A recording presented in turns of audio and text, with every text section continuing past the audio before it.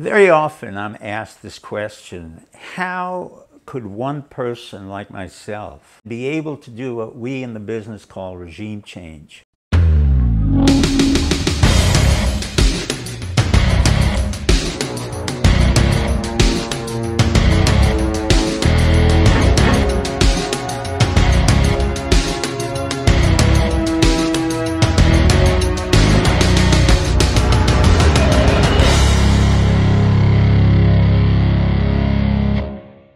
Often I'm asked this question how could one person like myself, who was trained both in psychiatry at Harvard and had a PhD at MIT in political science, understand the dynamics of a great country like the Soviet Union and be able to do what we in the business call regime change or the takedown of the Soviet Union?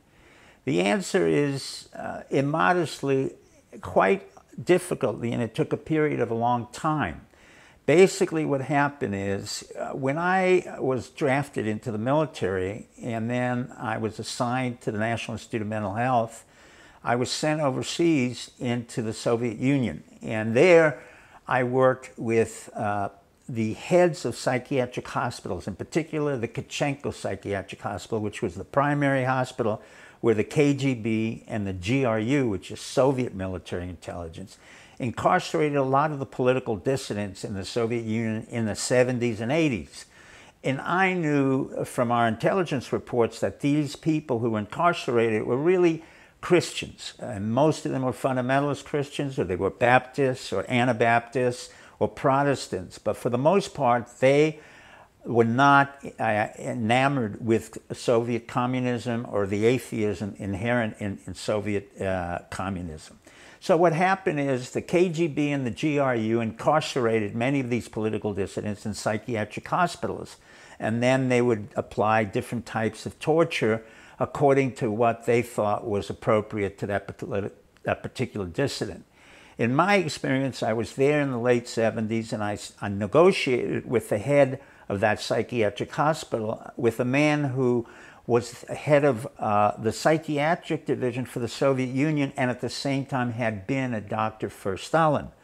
And he was a very serious man, a very uh, a man of great integrity, quite frankly, because when we made a personal deal between myself and him, I basically said, look, I will commoditize the people who are the political dissidents without having to say they were Christians. He understood it and I will provide you with a number of Wang computers for each one of those political dissidents, but we will take them out of the Kashchenko Psychiatric Hospital and bring them back to the United States. He eventually agreed with me because they needed uh, Wang computers in the late 70s and early 80s, and we were able to take more than two dozen or three dozen uh, political dissidents out of the psychiatric hospital, bring them to the United States.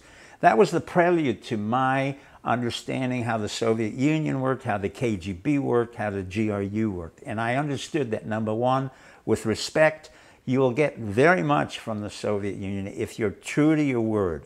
Secondly, if you know how to work the Soviets or the Russians in this particular case along the chessboard concept, then you would know how to apply some of what we call psychological operation methods into the Soviet Union. So what did I do?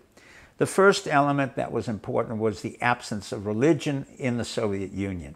As you know, most of the Soviet Union was atheist. However, there was a strong underbelly of Catholicism, but more importantly, Greek Orthodox, uh, Russian Orthodox concerns in the peasantry and the surrounding areas around Moscow. And what, it, what I did and others who worked with me, the CIA MI and a whole bunch of foreign service officers, is we, we were able to get Pope John of Poland, who was an anti-communist, to start a mass, uh, a rally of uh, Catholicism around the borders of the Soviet Union, and he started to uh, make a mass. And the mass translated and went over the border of Russia and started to instigate the rise of Russian Orthodoxy. And so religion became one factor which we stimulated in the late 70s and 80s. The second factor was that we had taken the uh, head of the military, uh, uh, Admiral Akhromeyev, We put him on one of our aircraft carriers and showed him how effective we were in landing and taking off on that aircraft carrier,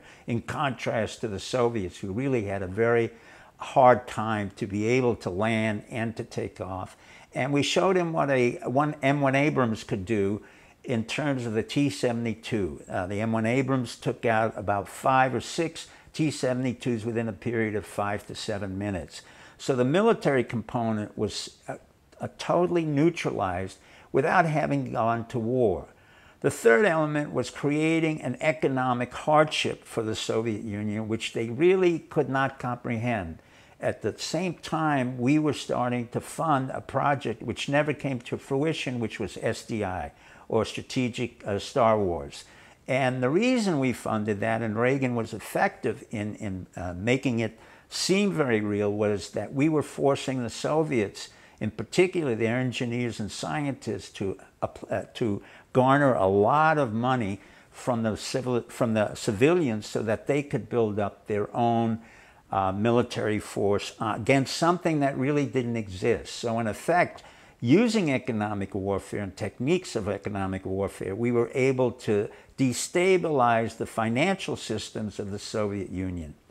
Then the fourth part, the cultural element, was something that was a great concern to me because when I was in the Soviet Union over those period of years, I understood that the basic uh, rock and roll music of America, believe it or not, was quite revolutionary. And the KGB had a very hard time controlling those young people who belonged to the intelligentsia who loved rock and roll. And they would go into all kinds of subterranean clubs and create artificial bands that mimicked our own bands. And I began to understand that if we could infiltrate the country through their sailors and through uh, Radio Free Europe and pump in a huge amount of American music, we could really begin to create a fissure within the young people who would split away from the old line communists. And what happened eventually was the fifth part was the eventual negotiation, which I was part of, between the Soviet Politburo and United States policy planning staff for the takedown of the Soviet Union, where we discussed the sequence of events that would occur in, quote, perestroika. And Gorbachev was smart enough at that time to understand that the old system could not function anymore in a new world where financial concerns were important, where the youth had to have new jobs and new, new opportunities, and where the old system of repression could no longer exist. So, through a systematic psychological warfare and then a psychological negotiation with the Soviet Politburo itself and the members of the Soviet elite, we were able to neutralize the Soviet Union and eventually allow the communist component to fall down. Some of that I described in my book, uh, The Mind Palace. Some of it is described in the series in the Tom Clancy franchises. And Tom Clancy, I provided him with that information in his books, The Cardinal of the Kremlin. So I want you to understand that the Soviet Union had been changed because of efforts on behalf of the American government, not just me, but other people within the national intelligence organizations, the CIA, military intelligence.